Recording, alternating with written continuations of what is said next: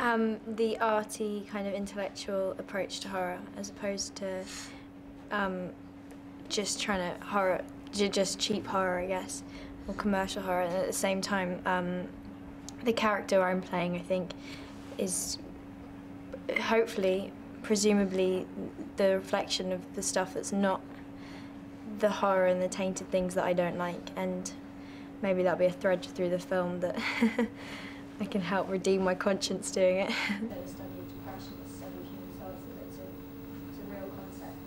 Um, going to be a lot more arty.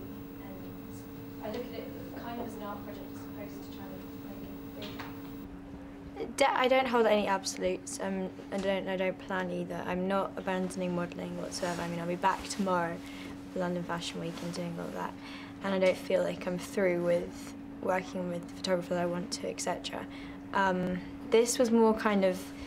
I kind of approached it as a fun project to do, something arty, something different. Um, I didn't realise it was. It, it wasn't initially. So it was initially going to be short films. It's kind of progressed a lot further. Um, so I don't really know what I was getting into. Um, but at the same time, I am very, I don't know, interested and intrigued by the idea of acting. Um, it's nice to pursue avenues and see where they open. Is it something of his own invention? Does that describe yourself?